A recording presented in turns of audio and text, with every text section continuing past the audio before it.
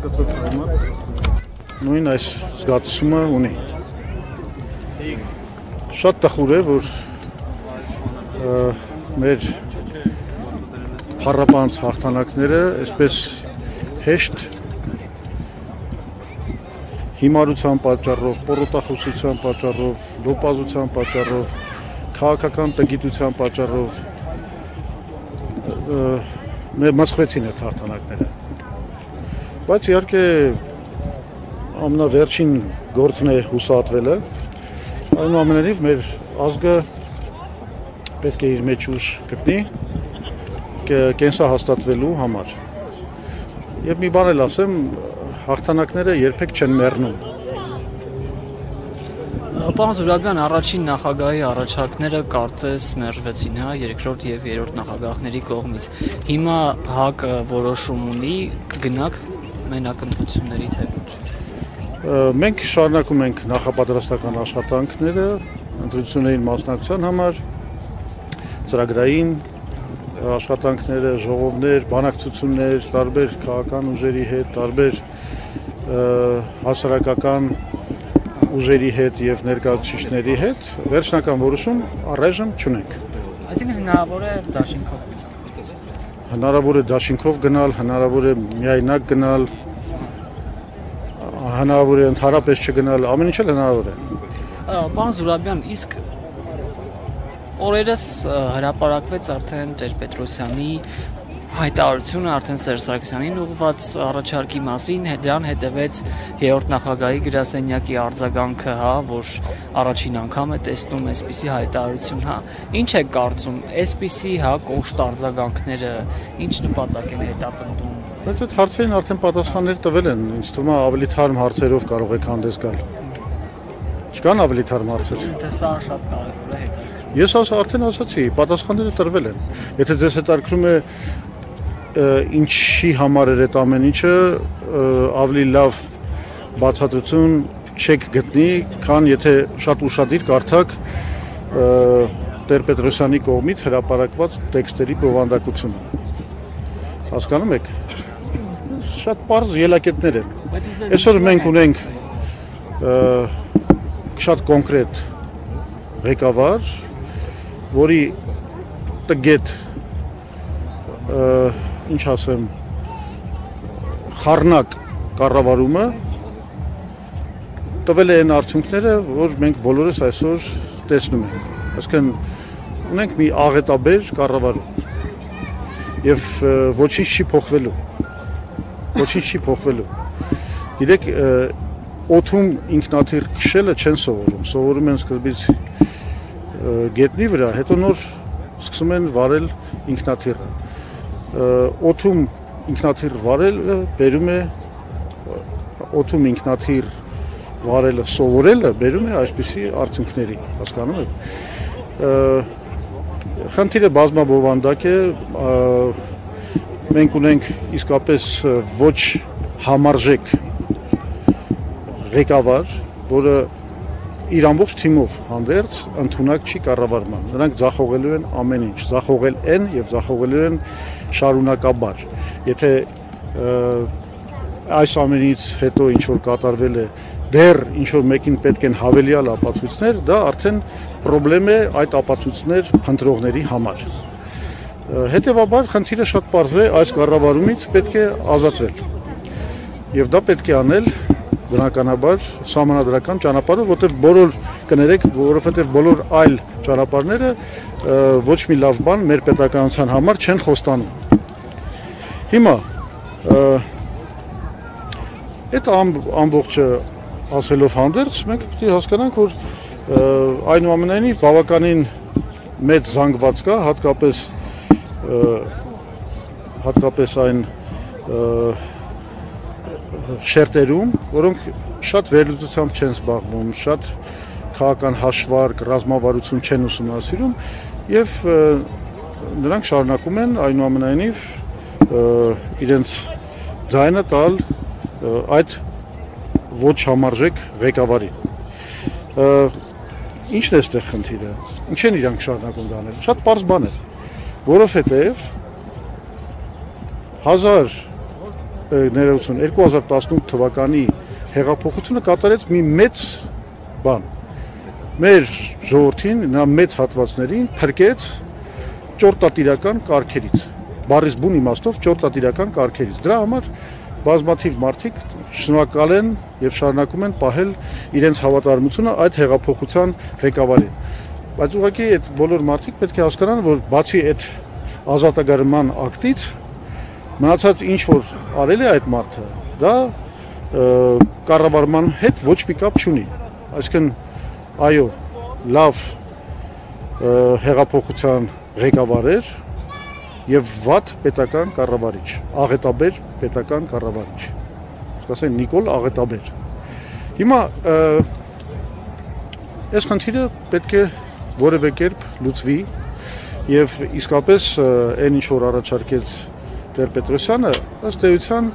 փորձեր համախմբել երկրի բոլոր կարող ուժերը այդ խնդիրը լուծելու համար։ Ընդ որում այն բանաձևը, որ առաջարկվել էր, շատ པարզ էր։ Ոչ Քոչարյանը, ոչ Սերժ Սարգսյանը եւ ոչ էլ ինքը Լևոն Տեր-Պետրոսյանը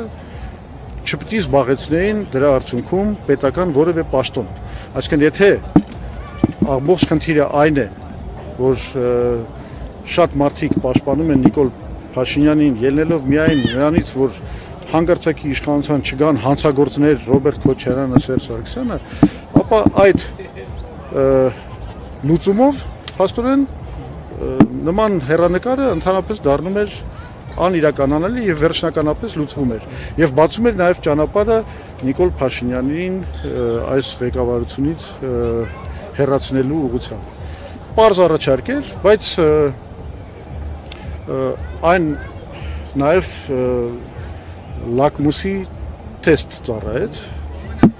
որովհետև շատ լավ երևում է ով է պատրաստ իր ամբիցիան իշխանության նկարտումը զոհաբերել հանուն պետության շահերի եւ ով պատրաստ չէ։ Հենց որ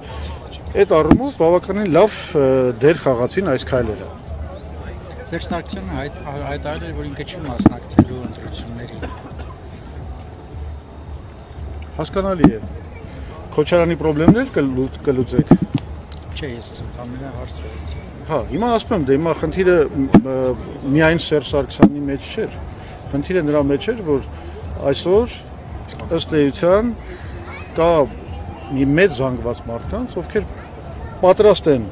պահպանել անմեղսունակ ղեկավարին որպես Հայաստանի կառավարիչ միայն ելնելով այն վախից, որ ալտերնատիվը Ռոբերտ Քոչարյանն է։ Իրեւ դրա մասին էլ մի բան ասեմ։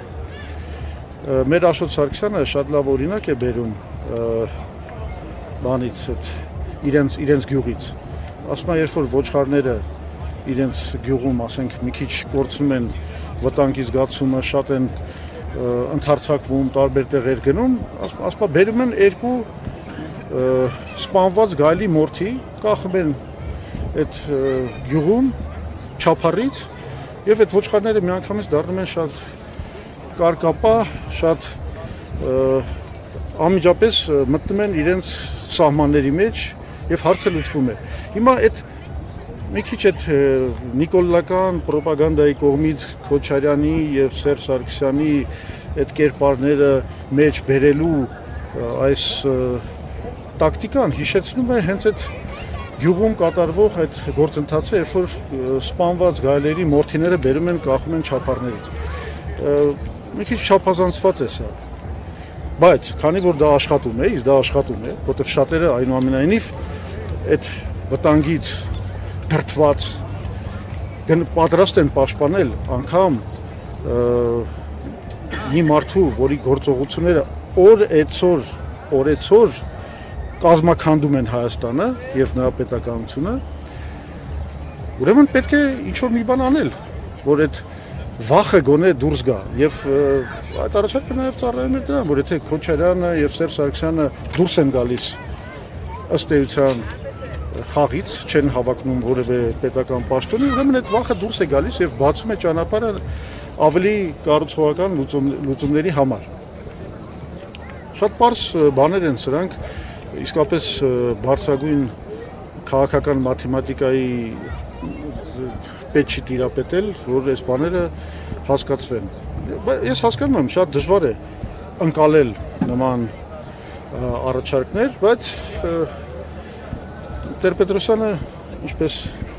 Փաշինյանն էր ասում, մի շատ փիս խասած ունի, սկզբից իրեն չեն հասկանում, սկզբից չեն հասկանում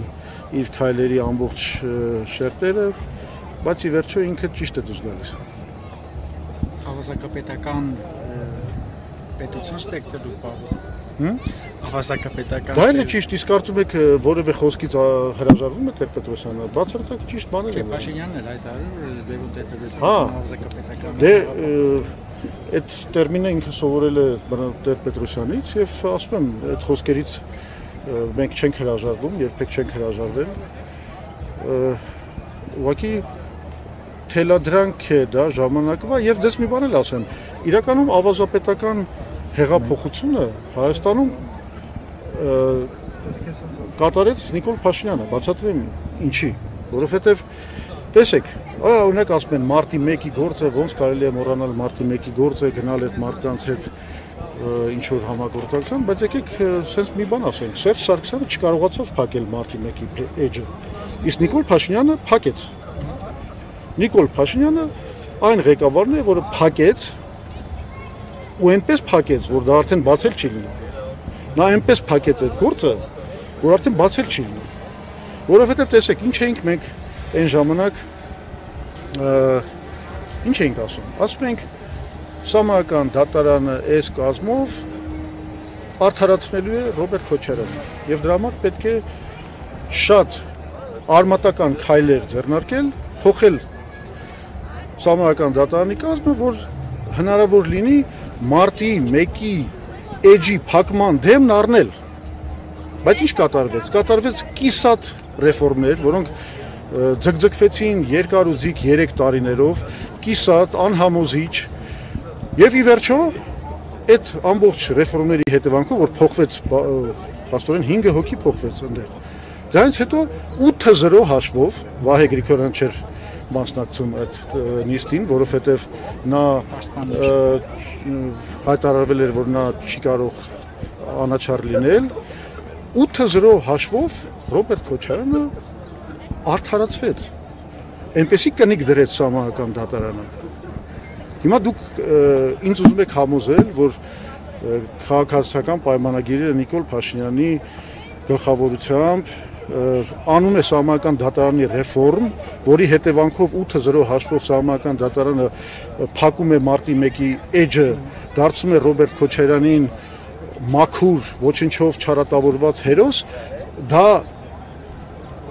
Փաշինյանի կամքից անկախ է եղել, ով ուզում է հավատալ, թող հավատա դրան։ Ներս որ ավազակապետական մի անգամ արեց ժողովրդավարական հեղափոխություն, հետո պարզվեց, որ այդ ժողովրդավարական հեղափոխության ավարտը լինելու էր ավազակապետական հեղափոխություն։ Հիմա էլ այդ նույն բառերով ես կարող եմ իրեն պատասխանել, բայց հիմնավորված տվյալ դեպքում։ Հիմնավորված։ Ինքն է փակել մարտի 1-ի էջը։ Ինքն է արդարացրել Ռոբերտ Քոչարյանին։ Ինքն է ստեղծել մի վիճակ, որ Ռոբերտ Քոչարյանը այլևս հանդես է գալիս որպես մակրագույն ոչինչով չարատավորված, ոչ մի հանցագործություն չգործած մարդու կերպարանքով։ Դա արել է Նիկոլ Փաշինյանը։ Հետևաբար դաշինք կազմել կարելի է իր հետ հրավերել։ Որտեւ ինքը Ես բացատրեցի, ես բացատրեցի։ Չէ, ես բացատրեցի, բացարձակապես դա դա չէր իմ հիմնավորումը։ Ես բացատրեցի մեր հիմնավորումը որն էր եւ նաեւ շեշտեցի, որ եթե այդ ծրագիրը իրականանա, Ռոբերտ Քաչյանը դուրս էր ընկնում պետական կառավարման համակարգից։ Էնպես որ այնուամենայնիվ թույլ տվեք խնդրել ձեզ չխեղաթյուրել իմ հիմնավորումները։ Պարոն Զուրաբյանի, դուք չեք կարծում, որ միավորման դեպքում ավելի շատ ընդրազանգվածը կկորեր, որովհետև ինչպես եք պատկերացնում, Ռոբերտ Քոչարյանի սատարողները պետք է քվեարկեն ենթադրենք Լևոն Տեր-Պետրոսյանի օգտին կամ Գիտեք, այդ տրամաբանությունը քաղաքական այդքան པարզունակ չի գործում։ Կա սիներգիայի էֆեկտը, կա միավորման էֆեկտը, միասնականության էֆեկտը, որը բերում է այդ գործընթացի մեջ ոչ թե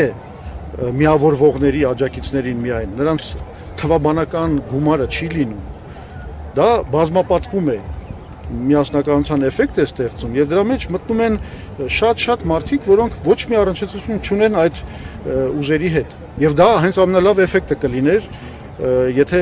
այդ գործընթացը առաջ գնալ, որովհետեւ դա այդ այդ համախմբումը այլևս չէր պատկանի ոչ Ռոբերտ Քոչյանին, ոչ Սերժ Սարգսյանին, ոչ էլ եթե ուզում եք Լևոն Տեր-Պետրոսյանին։ Այդ համախմբումը կլիներ կլիներ համաժողովրդական համախմբում եւ դրա արդյունքում ասում եմ 4 ղեկավար այլևս չէին ունենա դերակատարություն հայոց քաղաքականության մեջ եթե չհաշվենք խորհրդատվական եւ այլ դերակատարությունները սա է կարևոր սա է կարևոր ամբողջ առաջարկի իմաստը դա է բայց ասում եմ ձեզ չնայած դա գործող պլաներ չգործելու դեպքում դա նաև ունի դրական էֆեկտ որտեղ արդեն པարզ է լինում թե ով է իրականում ինչ նպատակներ հետապնդում ով է ուզում օրինակի համար իսկապես ազատվել Նիկոլ Փաշինյանից եւ ավելի վեր չի դնում սեփական իշխանական ամբիցիաները այս բաները parzվում են այդ լավ պլանները այդպեսի հատկություն ունեն որ եթե եթե ստացվում է եթե հաջողում են դրանք բերում են շատ մեծ առաջխաղացմանը եթե չի հաջողվում մեկ այլ դրական էֆեկտ են ունենում լավ պլանի գլխավոր հատկանիշները դրանք են։ Պարոն Զուրաբյան, դուք նաև խոսեցիք Նիկոլ Փաշինյանի ոչ կոմպետենտ լինելու մասին։ Նախկինում